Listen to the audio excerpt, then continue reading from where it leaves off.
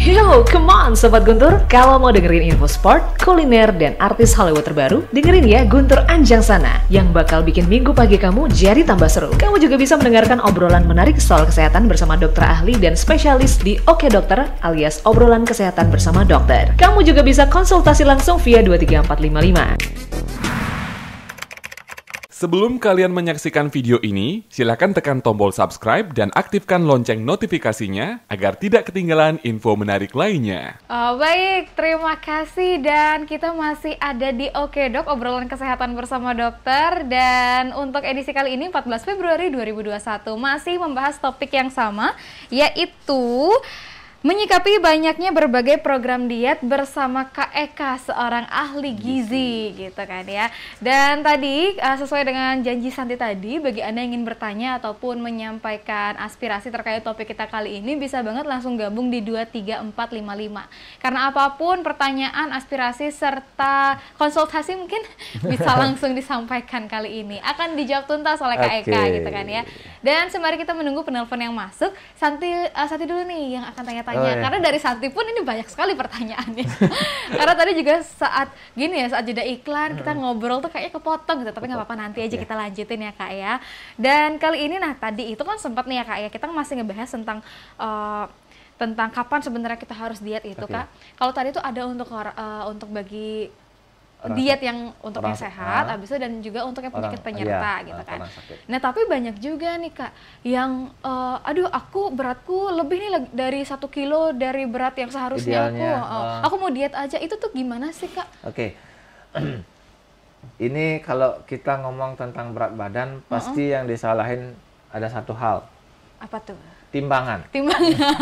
ini timbangannya salah ini timbangannya ke, ke kanan terus dan belum ke kiri okay. sebenarnya kasihan loh kak timbangannya uh, timbangannya dia, dia benda mati disalahin uh, gitu dia ya dia nggak ngapa-ngapain kalau uh, bisa ngomong aduh saya kok disalahin terus oke okay. okay. uh, oke okay, kak kalau kita ngomong tadi berat badan ideal mm -hmm.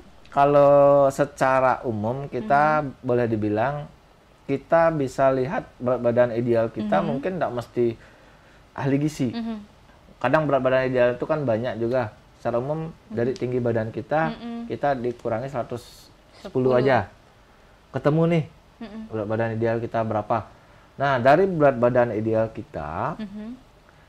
uh, masih masuk dalam kategori berat badan ideal plus minus dia 10% kak 10% hmm, okay. mungkin pro problem tadi yang kak bilang saya berat badan ideal 65 gitu hmm. misalnya aduh saya lihat nih satu kilo Padahal masih uh, kalau batas maksimalnya sekitaran 70 masih mm-hmm. berat badan ideal loh kak. Mm-hmm.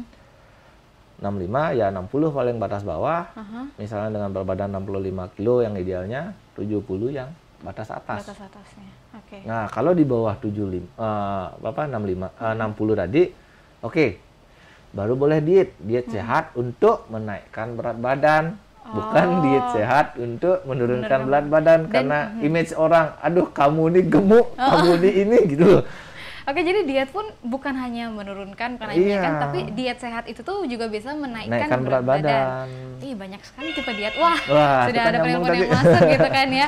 Oke, se sebelum kita membahas lebih lanjut lagi tentang diet tersebut, karena sudah ada penelpon yang masuk, kita angkat dulu. Halo, selamat pagi. Dengan siapa di mana? Ya, pagi. Oke, okay, Gongde ya. Iya. Bagaimana kabar?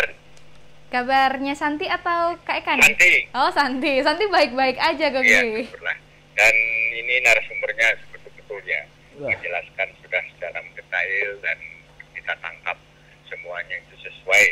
Nah, karena kalau Gongde memang sekeluarga ya dari mm -hmm. Bapak sampai sekarang tetap yang satu itu adalah empat sehat lima sempurna, olahraga yang teratur. Semua olahraga kecuali sepak bola, Bung. Kita uh, lakukan berenang dan dan sebagainya. Kalau olahraga lengkap di ada di rumah lari-lari. Dan makanan kalau tempe juga Gong dibikin, mm-hmm. bikin sendiri. Tahu bikin sendiri. Dan kalau masak dengan listrik, nggak pernah pakai minyak karena alatnya itu sudah sudah canggih gitu. Jadi alat-alat semua naruh aja sudah masak sendiri dia tidak nunggu makan memang makan teratur. Di sini Gong ditanyakan, uh-huh. kalau tidur yang tidak teratur apa apa bisa mengurangi gizi contoh kalau Gongde biasanya karena Gongde punya kerja sampingan yaitu jual beli Jadi jam satu malam Gongde begadang karena di Amerika jam satu siang. Apa itu berpengaruh ke gizi nantinya setelah Gongde umur umur berapa yang harus betul-betul gizi itu dijaga dengan baik. Kalau masih muda kan seperti kata tadi itu bagus sekali kita cuma teratur. Dan kalau sayur mayur, Gongde tetap yakin itu karena makanan kita empat sehat lima sempurna dan makan teratur. Dan Gongde tidak pernah beli bawang, semua nanam sendiri punya sendiri, Wow. buah-buahan juga punya sendiri karena Gongde gaji insinyur pertanian untuk menggarap karena punya tanah. Jadi segalanya punya Gongde gitu loh. Jadi Oke. bisa punya. Dan kalau memang gizi ini nanti setelah Gongde umur, kalau Gongde sampai sekarang celana SMA masih bisa dipakai karena gitu ya makannya ada teratur. Tetapi pernah waktu kerja, Gongde itu kan kerja. Jadi kadang-kadang oh makan siang itu tanggung sekali pekerjaan. Tapi ada memberitahu betul dan tidak kami tanyakan pada bapak ahli gizi. Kalau gede itu disuruh makan gitu loh. Tapi memang sampai sekarang sih tidak ada pengaruh. Tapi untuk pelanjutannya bagaimana? Itu itu itu pertanyaan kami. Semoga nanti setelah umur juga umur berapa yang harus ini betul-betul gizi ini apa yang dibutuhkan kita nanti nanti ah, enam kepala Gongde. lima gitu. Aha. Itu saja dari Gongde. Terima kasih banyak waktunya. Om santai santai santai om. Oke, udah ditutup ya. Udah ditutup, Oke, ya. nggak apa-apa. Eh, kita sudah eh, dapat pertanyaan dari Gongde terkait gitu ya, masalah tidur tidak teratur apakah bisa mengurangi gizi dan Hmm. Oke. umur berapa gitu kan ya kita harus benar-benar menjaga itu I- gitu. i- i- untuk jaga gizinya. Mhm. Oke, selamat pagi dulu buat Gungde. Ini eh, apa namanya pendengar favorit. Iya. Wah, Penelpon setia ya. penelpon setia juga dan saya kasih dua jempol, nah, bukan satu jempol nih, untuk polanya tadi. Semua bikin sendiri, masak juga enggak pakai minyak, alat sudah bagus. Sam- eh, sampai tempe tahu Punya- bikin sendiri. Oh, bikin gitu sendiri kan ya. sebenarnya.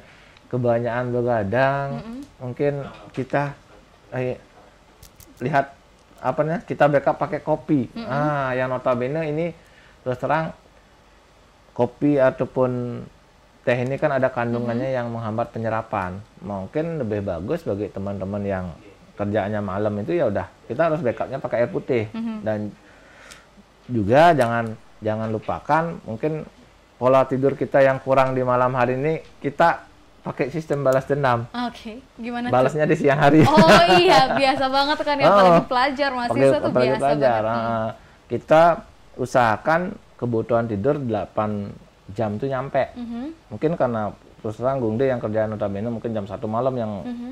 kita ya, klaim orang Indonesia udah waktunya tidur, kita pakai kerja. Otomatis kita di siang harinya bisa tambah Oke, tidurnya. Iya, iya benar. Tentu bagi Gongde juga jangan lupakan itu tadi polanya terus terang polanya Gongde udah yang kasih dua jempol. Udah bagus banget gitu ya. udah bagus-bagus banget. Nah, mengenai umur berapa kita harus benar-benar fix. Sebenarnya tidak ada batasan umur untuk kita diet sehat, eh, Pak Gongde. Artinya dari umur kecil pun mungkin aktivitas Gongde sel- eh, sekarang aktivitas sebanyak malam tidak apa-apa kita terapin. Karena kalau diet kita kembali kita efeknya lihat jangka panjang, bukan instan. Kalau instan tuh kan kalau minum obat oke, instan kita efeknya. Kalau diet 5-10 tahun baru kelihatan. Makanya perlu dari awal kita eh, atur pola kita untuk ke depannya biar bagus. Apalagi Gongde Niki yang polanya sudah Sudah sangat sangat bagus, bagus gitu sekali. ya. Oke, Begitu. artinya mm-mm, kita bisa luruskan bersama diet itu bukan hanya sebatas mengurangi berat badan mm, untuk ya. menurunkan berat badan, tapi juga bisa membuat badan kita lebih Eh, sehat lebih, gitu ya. mm, lebih ada juga optimal. tipsnya, memang uh, ada tipsnya untuk menurunkan berat badan dan ada juga untuk menaikkan berat, Berat badan. badan. gitu ya. Banyak sekali ternyata tipe-tipe diet ini, tapi karena kita sudah mau masuk ke pukul 9 gitu kak ya, Eh, kasih tahu dong kak tips biar diet yang kita pilih atau yang kita jalankan itu bisa efektif, biar Efektif, bisa juga oke. sehat bagi tubuh kita itu gimana? Oke. Pertama mungkin ada sedikit tips diet. Nah, Mhm. untuk yang mau menurunkan berat badan dulu deh. Mhm, Oke, yang paling saran, banyak ya. nah, saran Mhm, konsultasi dulu. Konsol. Konsultasi dulu ke ahli gizinya. Mhm. Dalam artian ini untuk menentukan berapa porsi, berapa pola dan bagaimana kita ngatur diet. Mhm. Jangan eh, kalau sekarang kan banyak nih kita nyari di internet apa pun ada. Mhm. Cuma kita nggak tahu dasarnya artikel tersebut kita nggak tahu. Mhm. Kalau memang konsultasi dulu, kita memang tahu oh kebutuhan saya sekian, Oke. pola saya sekian. Mhm. Mungkin pola Diet yang sendiri tidak sama dengan Mhm. Kak Santi. Mhm. Kebutuhannya berapa? Konsultasi dulu. Oke. Kedua, Mhm. diet itu diet yang bagus untuk menyehatkan badan, bukan menyiksa. Mhm. Bukan menyiksa. Iya. Oke. Contoh, mungkin kita kalangan remaja sekali waktu nongkrong sama teman, Mhm. mungkin teman makan yang high karbo, Mhm. Kita sendiri. kita gitu. sendiri bengong karena kita dietnya saya sangat mengurangi karbo, bukan begitu, itu Oke, namanya menyiksa. Silakan makan high karbo, tapi atur porsinya. Oke. Besoknya balas dendam, oh saya kebanyakan karbo nih, Heeh.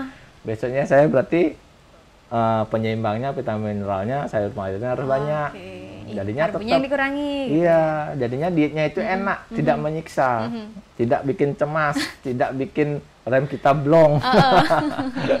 itu kurang lebihnya kak.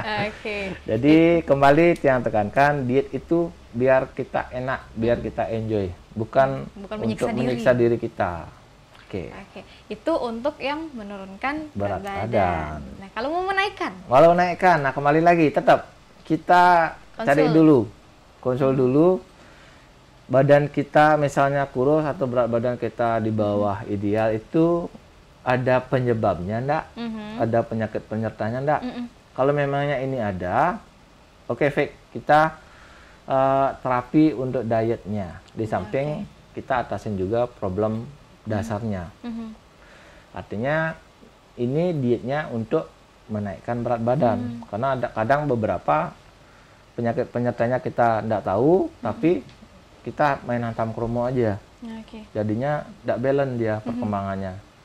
Oke. Jadi arti- perlu kembali konsul dulu deh ke ahli gizi. Sekarang kan banyak juga ada ahli gizi praktek juga atau mungkin poligisi juga ada kalau di rumah sakit. Artinya kita konsul ke sana dulu. Bukan dalam artian su- eh, sudah sakit baru konsul. Dari sehat Iya, pun iya, perlu Oke. untuk mengelola pola hidup tadi. Hmm, Oke, intinya yang pertama kalau bisa kita konsul dulu deh Konsul sama dulu orang deh. yang tepat. Ah. Jangan gini ya, jangan hanya mengandalkan eh, indera kayaknya gini kayaknya gitu kayak ya. gini kayak gitu dan tidak pas dia polanya tidak Iya, bagus semuanya pas. nanti Atau ikut-ikutan harap- nanti eh, ya. harapan tubuh kita untuk ideal itu tidak masuk masuk Iya. tidak gol gol nanti Ah, Oke dikit lagi deh kak ya, karena nih mungkin banyak juga nih di luar sana tuh Hmm. obat-obatan yang katanya entah obat-obatan mungkin makanan minuman yang katanya sih ini membantu kita diet. Itu Oke. beneran nggak sih kak? Oke. Atau pandangan kakak tentang? dari ah oke ini bagus juga Mhm. dan kalau pandangan tiang sebagai ahli gizi Mhm. terus terang tiang tidak menganjurkan pakai obat ataupun Uh-huh. produk-produk niki Iya.